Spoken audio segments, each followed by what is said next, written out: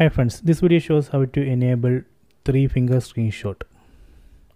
Open settings, tap on the settings app icon, then tap on display, then tap on advanced, then go down, tap on three finger screenshot.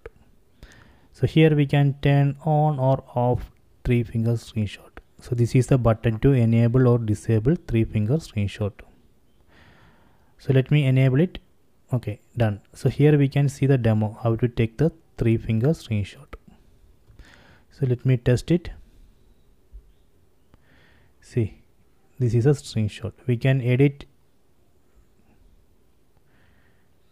If you want we can edit the screenshot. We can crop tools adjust filters markup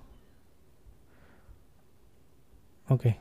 So this way we can enable or disable three finger screenshot. Please check it